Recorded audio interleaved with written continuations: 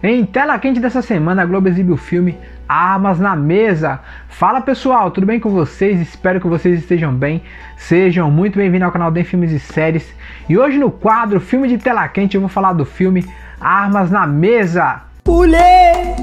Esse filme Armas na Mesa é um drama profissional bem dirigido e com ótimos atores. 90% do filme se concentra na personagem principal da Elizabeth, interpretada pela Jessica Chastain, que está em uma excelente interpretação, ela realmente rouba a cena nesse filme. O enredo desse filme trata do trabalho dos lobistas no Congresso americano, no caso em questão no Senado, que está prestes a votar em uma lei sobre aumentar ou não o controle para o uso de armas no país. Esse filme é excelente, com um bom roteiro, a protagonista, além de trabalhar bem, consegue aplicar seu brilhante plano, nem que isso lhe custe a cadeia. O filme é sensacional, mostra que os verdadeiros políticos são os grandes empresários que patrocinam a campanha dos candidatos, mas no fim eles que mandam em tudo pelos bastidores. Adorei a frase dita pela Elizabeth. Bem-vindo aos Estados Unidos, onde você pode ter que esperar seis meses por um raio-x, mas pode comprar um fuzil AR-15 em 5 minutos. É um filmaço esse filme Armas na Mesa,